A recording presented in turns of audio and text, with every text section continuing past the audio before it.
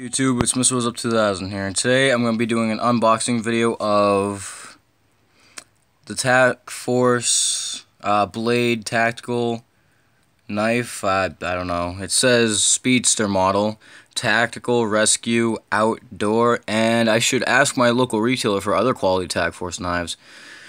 Uh, warning, this knife has an extremely sharp edge. Use caution when opening this package. Mishandling or incorrect can result in serious injury. It is the responsibility of the buyer to investigate and comply with the laws and regulations that apply in his or her area. Custom designed in USA. Master cutlery, all rights reserved. That's all the bullshit out of the way. So let me cut this box open. I have a knife open right here, so... Nice and simple tape. I, I'll admit I could have just used one of my fingernails for that, but... I'm too lazy right now. Alright.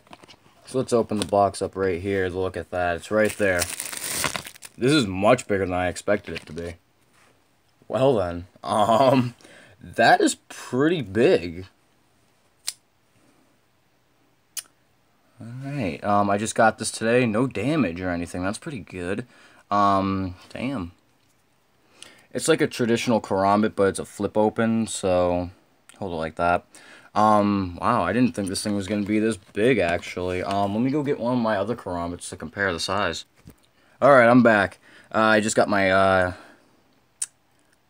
Defender Extreme Hawkbill, and I gotta say, um, blade to blade, this black and red one is way bigger.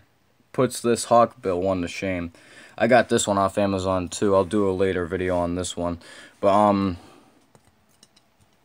yeah, this one's pretty cool. I got it for about $8. I'll link it in the description in case you're, uh, um, in case you just, uh, you want a karambit knife that folds. Oh, man, that is, that's the only complaint I'm gonna have. Um, getting the knife back into the, um, yeah, wow, that's kind of, it's brand new. So what am I gonna, what am I gonna do?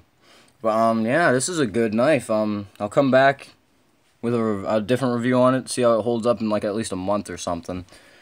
But um, yeah, look at that design. It doesn't have a window breaker like my other one. This one, this has a window breaker, so if you need to of your car, I'm assuming you just, you smash your wind, you take your karambit, if you have it on, you go to the window, like, but then you, then again you have a blade right on the knife, so this one feels better in my hand because it's a traditional style karambit. Well, not traditional. Traditional would be like really, really like old and wooden. Um, this one has an alright feel. It's kind of bulky, but that's actually not that bad of a thing to have with a knife. Like, I have a Bowie knife, and that's big ass and bulky, but...